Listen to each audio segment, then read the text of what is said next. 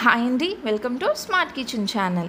ఈరోజు నేను చేయబోతున్న రెసిపీ ఇప్పి కట్లెట్స్. ఇప్పి నార్మల్గా తింటూ బోర్ కొట్టే వాళ్ళు ఇలా ట్రై చేయండి. చాలా అంటే చాలా టేస్టీగా ఉంది. చూసారా అండి? పైన ఏమో క్రంచీగా లోపల సాఫ్ట్గా ఉంది. టేస్ట్ అయితే సూపర్బ్ వచ్చింది. మీరు కూడా ట్రై చేయండి.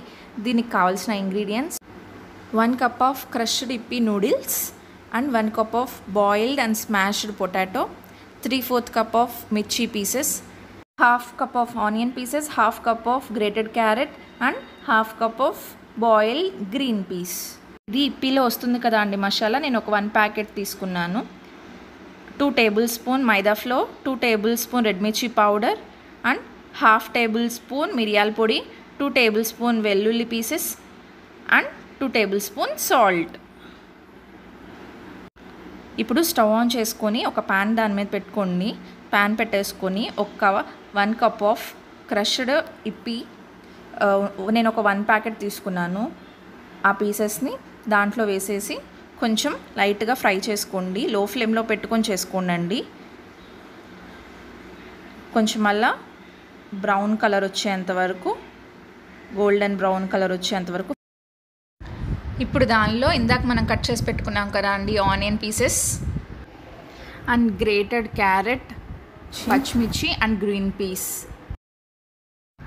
అలాగా అన్నిటినీ ఒకసారి అటు ఇటు కలుపుతూ ఉండండి. కొంచెం సేపు కుక్ అవేలాగా వాటిని అలా అలా కలుపుతూ ఉండండి.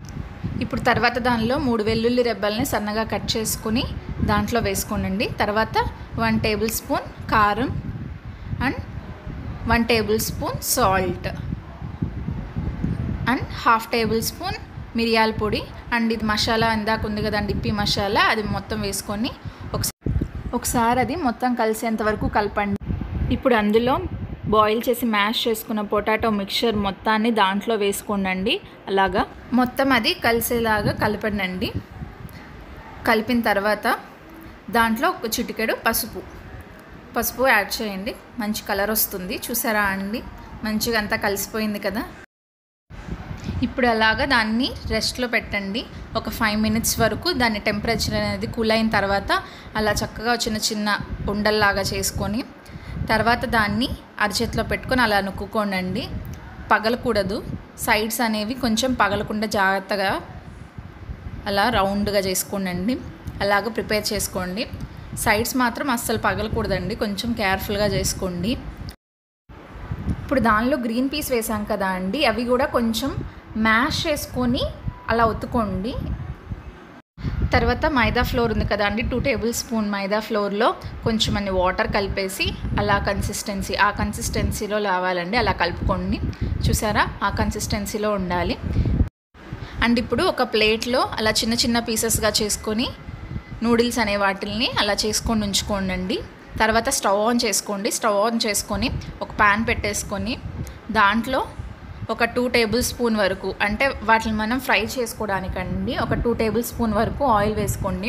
కొంచెం ఆయిల్ అది వేడైన తర్వాత మనం ఆ ముద్ద ఉంది కదండి దాన్ని అలాగా ఆ మైదా పిండి వాటర్లో తడిపి కొంచెం ఇప్పిని పైన అలా అద్దుకొని ఫ్రై చేసుకోవాలి.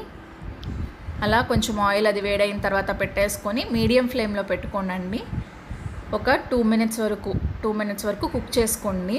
తర్వాత లిడ్ కూడా పెట్టేసేయండి. అలా మీడియం ఫ్లేమ్లో పెట్టుకొని పైన లిడ్ పెట్టేసుకొని ఫ్రై చేసుకోండి. టూ సైడ్స్ అలా కాల్చుకోవాలి. గోల్డెన్ కలర్ వచ్చేంత వరకు. తర్వాత పేపర్ నాప్కిన్ టిష్యూ ఉన్న ప్లేట్లోకి తీసుకొని సర్వ్ చేసుకోండి. ఒక టూ మినిట్స్ వరకు పెట్టేస్తే ఆయిల్ అనేది ఎక్స్ట్రా ఆయిల్ అనేది అబ్జర్వ్ చేసేసుకుంటుంది. తర్వాత అలాగా ఒక ప్లేట్లో సాస్తో దాన్ని సర్వ్ చేసుకోండి.